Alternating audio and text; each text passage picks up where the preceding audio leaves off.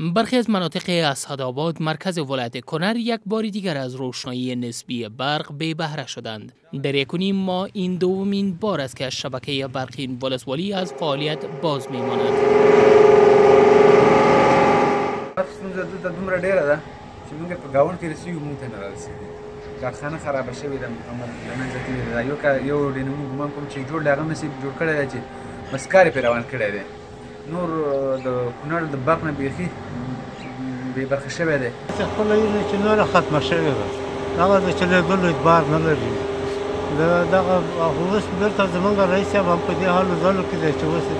لپاره یو انتقالي لین دغه کله ده په هغې کې اوس په اخته ده منډو را منډو کې د پاره چې فابریکه جوړه شي د پر شبکه ضرور ده شبکې غم تقریبا د 2 میلیون شاوخوا قرارداد تر لاس لاندې ده دغه شبکه مرده قرارداد کیږي او شبکه مرته جوړیږي با گفته قرار داده قرارداد بازسازی این شبکه که 3.5 میلیون دلار هزینه برمیدارد به یک شرکت اوکراینی سپرده شده بود که شرکت اوکراینی پس از آوردن برخی وسایل کار این شبکه را ناتکمیل رها کرده فرار کرده است اما تا کنون حکومت در مورد اقدامی نکرده است